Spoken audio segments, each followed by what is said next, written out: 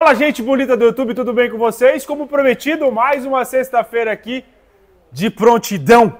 Diego apresenta e hoje, galera linda, eu vim falar de fogão. Fogão, exatamente, fogão industrial. Especificamente, vou falar dessa marca aqui que a gente trabalha e eu acho que você conhece. Gastromac, da mesma, do mesmo grupo Japanese. Vamos falar desse fogão maravilhoso. Vou falar como é que ele funciona, é, para que ele funciona. Tá legal? Galera, antes de tudo, se você gostou desse fogão maravilhoso e Diego, não vi preço aí no, no, no, no, seu, no seu vídeo, por favor, entre em contato aqui nesse WhatsApp que está aparecendo na tela. Exatamente, você vai ser muito bem atendido. Tem uns vendedores bacanas aí para atender vocês, tá? Então vamos te falar preço e prazo de entrega.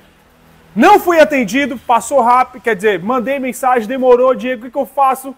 Gente, a loja, ela muita correria, né, dos vendedores. Então, vai no final aqui do link da, da, da, da descrição aqui do vídeo, tem o link lá da nossa loja virtual, exatamente, está passando aqui do lado. Você vai entrar nesse link, você vai é, imediatamente ser encaminhado para outra página que vai estar esse fogão, lá você vai colocar o seu CEP e você vai saber já o prazo e o valor do frete. E outra, o preço já vai estar lá. Então, é rápido, dois canal. Ou o WhatsApp, se não for atendido rapidamente, que as, muitas das vezes é, outras não, né, pelo devido à correria, corre e vai no, no, no site lá da nossa loja entrega, integrada. Tá legal? Ah, é chato demais, pô. Mas nós temos que vender, gente. Galera, segue o Diego nas redes sociais. Vai lá no Instagram, arroba mig.centeroficial. Tá passando aqui embaixo. Dá uma moral pra gente. Tem o nosso site bonitinho também com bastante coisa, tá? Lá no nosso site. Legal, gente? Foi no Instagram, corre aí no YouTube e você que já está assistindo esse vídeo, por favor, ajuda o Diego como a gente ajuda vocês aí passando conhecimento, que é muito gostoso, né? O pessoal fica tudo sabendo de conhecimento. Se inscreva no canal, ative o sininho de notificação para não perder o videozinho, dê seu like, porque quanto mais like você der, mais o YouTube entende que o conteúdo é bom. E ó, não é puxando o saco, mas nosso conteúdo é muito bom, cara. É muito bom mesmo. Tem muita coisa boa no canal. Não tem só esse vídeo. Pode entrar no canal que tem bastante coisa, tá legal? Comenta nos comentários aí também para qualquer dúvida. Tá? Gu, falei, faltou alguma coisa? Ah, Acho cara, que o telefone fixo, telefone né? fixo, né? Telefone fixo na loja. Aqui embaixo aparecendo. Lindão, maravilhoso para você destacar. É isso, Guga? É isso aí, cara. Vamos pro vídeo? Vambora.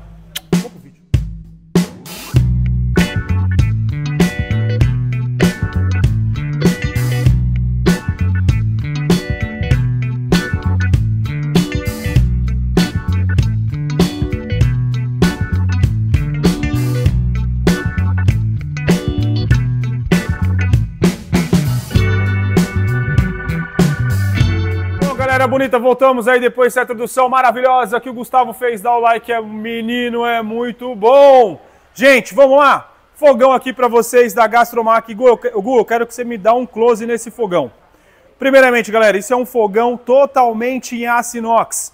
Tanto a parte de cima quanto a parte de baixo, tá bom? Grelhas em ferro fundido, tá?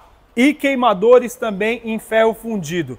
Abridores em apps né, em é inox, muito resistente, tá? Lavagem tranquilamente, legal. Ô Diego, por que, que as grelhas e os queimadores não são de aço? Porque não são, gente bonita.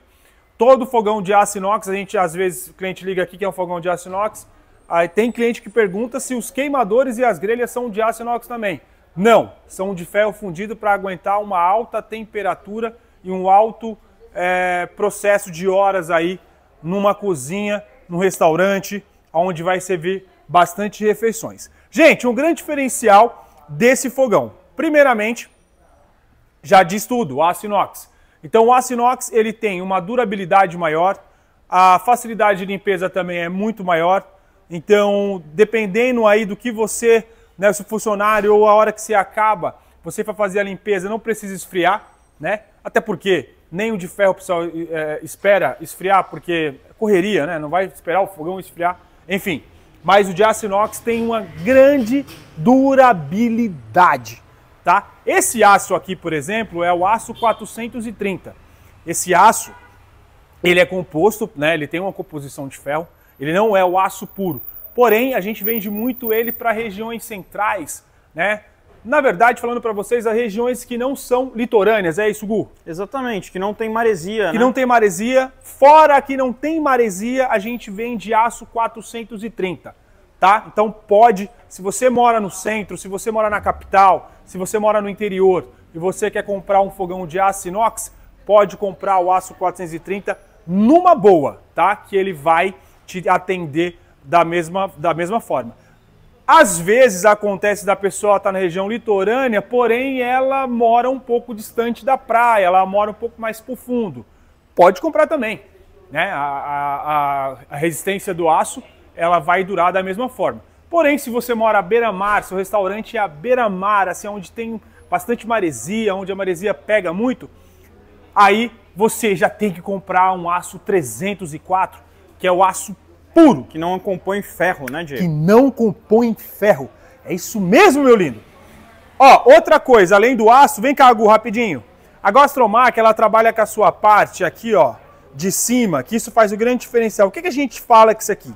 Isso aqui é um- um- uma chapa estampada.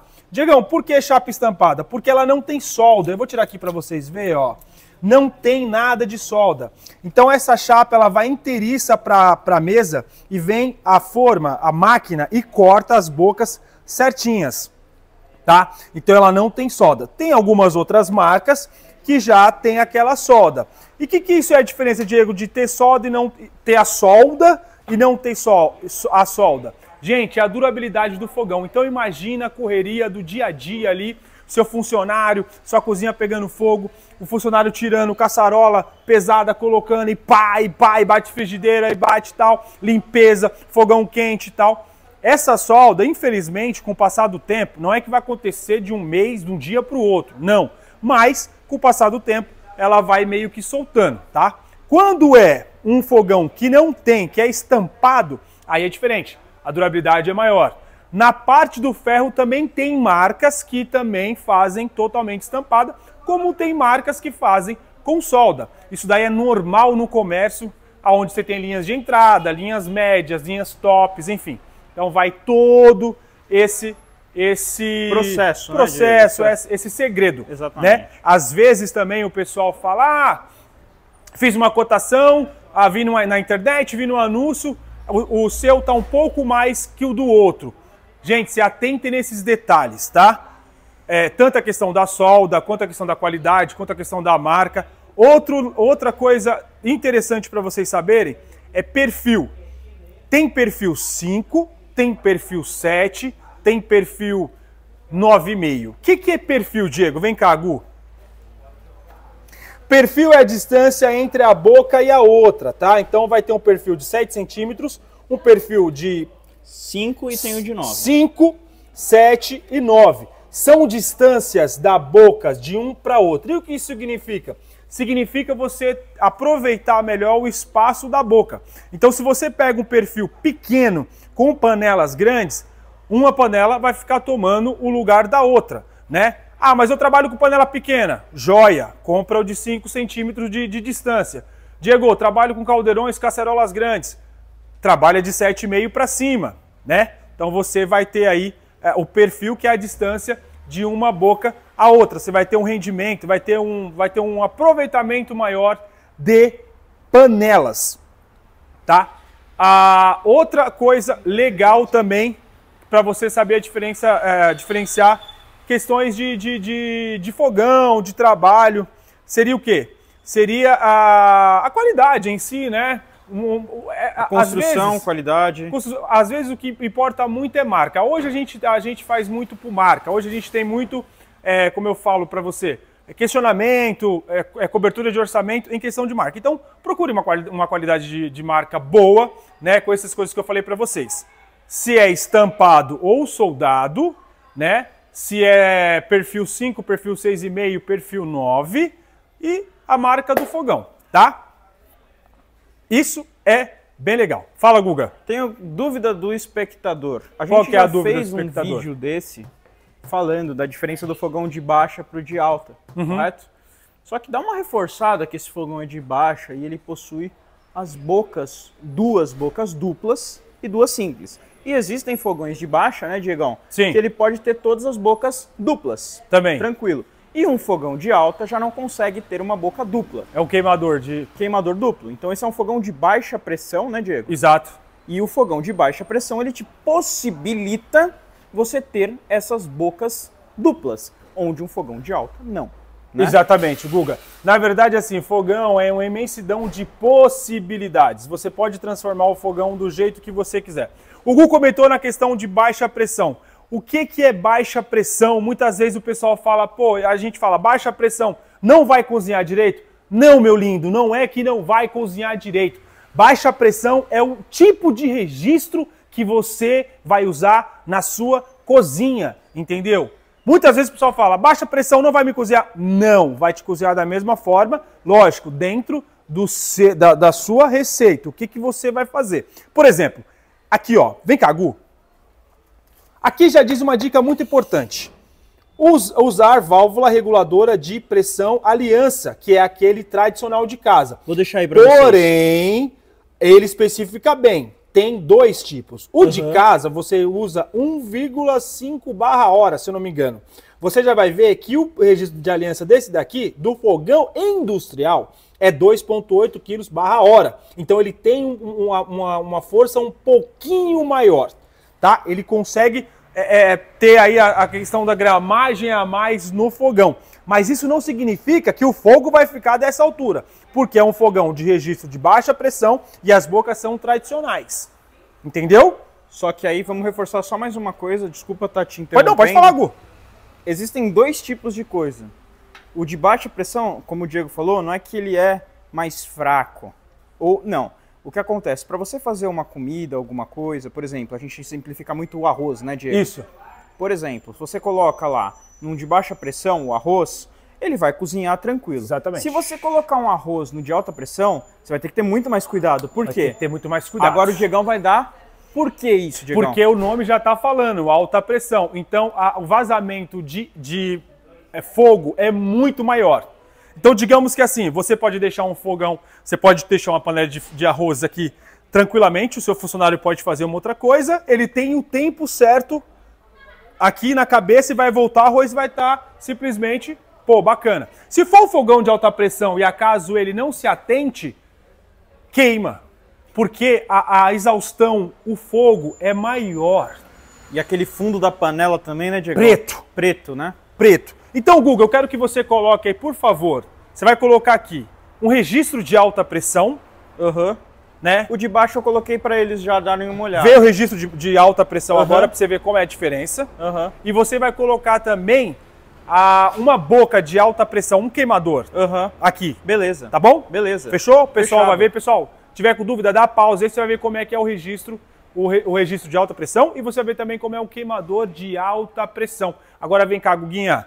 Isso aqui é um, um queimador de baixa pressão. Ó, você pode Tá ver vendo, que mesmo ele, Ele é duplo ou diferente. simples, ó, ele é E diferente. aí, foi o que o Guga falou. Se você quiser um fogão de quatro bocas com todas duplas, você pode ter. A gente pede para você. O padrão é duas bocas duplas, duas bocas simples. É sempre meio a meio, né, Sempre meio a Se for meio. três bocas, três duplas, três Exato. simples, assim E foi vai. como eu falei, várias possibilidades. Exatamente. Entendeu, Guga? É... E assim, dá para diferenciar. Então, quando você for aí, por exemplo, aí, meu Diego, e alta pressão serve para quê? Alta pressão serve, gente, para comida. Eu vendo muito para cozinha chinesa. Eu vendo muito para quem vai fazer muita fritura. Eu vendo muito para quem vai fazer, é, como eu falei, yakisoba, essas coisas, Exatamente, entendeu? então, pra- que tem alta pressão, fervura de água, quem trabalha com cerveja, quem fabrica cerveja, tá? Mas, eu, eu, Diego, é proibido levar um fogão de alta pressão para mim cozinhar uma, comi uma, uma comida caseira? Não é que seja proibido. Porém, é o seguinte: você vai ter, logicamente, um, um vazamento de gás muito maior, porque ele vai te consumir muito mais. E você, se Tem não for esperto, ligado. você pode perder ali as suas receitas, tipo fazendo uma, um arroz, fazer, fritando uma carne, né? Que são comidas ali meias que pa, padrão, tradicional. Então o pessoal leva sempre o de baixa pressão, entendeu? Né? Bonitinho? Bonitinho, bacaninha? explicou muito Legal? É isso. Então o que acontece? É, é- é você, como eu falei, tem milhões de possibilidades. Agora a questão é só o que você vai pôr na cabeça. Eu quero montar uma casa de fritura, alta pressão. Ah, eu vou voltar, eu vou montar uma casa de, de comida mineira, baixa pressão. E assim vai indo. Entendeu? E assim vai. Diego, vou ferver água, vou trabalhar com milho, vou fazer yakisoba, alta pressão, ela demanda muito mais rápida. Vou fritar pastel, porque os caras pegam um tacho ali E coloca. quer fazer fritura e coloca alta pressão. O pastel ele não pode demorar muito no óleo, senão ele encharca. Então tem que ser alta pressão. Entendeu? Pode comprar chapas também, ó, de sobrepor também para você colocar, ó. Vende chapas de Tem essas sobrepor. daí de 30 por 30 a gente tem aquela grandona que eu tô Exatamente. colocando aí na imagem também. Tem a maior de 70 por É. 30 para vocês, Pra entendeu? fogão. Então assim, você não tem espaço, mas eu preciso de uma chapa. Compre uma chapa de sobrepor ali para você fazer os seus lanches, fazer as porções para servir junto com, com a comida que você está servindo para o seu cliente, entendeu? Então, cara, fogão é uma coisa muito legal, é muito bacana, tem muita coisa sensacional para você adquirir ou, ou colocar aí na sua cozinha, meu lindo. Isso é muito louco, porque você vai falando e vai vindo as ideias e o, e o papo vai ficando gostoso, e aí o cliente entra, o, o telespectador começa a olhar. Mano, esse é o canal, esse é o canal, esse é o canal do Diego. Vem, vem com a gente sempre, sintoniza sempre aí, gente. Se inscreve no canal, ajuda o Diego, o Diego ajuda vocês, meus lindos. É isso. É isso, meu caro. Tem mais alguma coisa, Guguinha? Só, velho, belo vídeo. Eu acho que eu, assim, como eu falei, fogão é uma coisa. Mano, diversas ele- possibilidades, Se a vai gente indo. for comentar aqui o que que é fogão, É vídeo de duas horas. vídeo de duas horas. Mas se você tiver alguma dúvida, por favor, deixa aí embaixo, meu lindo. Deixa embaixo. Tá legal? Ó, gente, gratidão para quem, te pra quem chegou até o final do vídeo. Vai passar todas as informações aqui. Tá legal? É, lembrando sempre para vocês que a gente fica localizado na rua Paula Souza, uma única loja aqui no centro de São Paulo, tá? Funcionamos de segunda a sexta-feira. Filma lá o lindão, filma lá o lindão. É esse cara aí. Tchau, meu lindo. Segunda a sexta-feira. Das 8 às 18, sábado das 9 às 13. Vem aí fazer uma visita pro Diego, tá bom? Gente, Diego deseja a todos vocês que fiquem com Deus.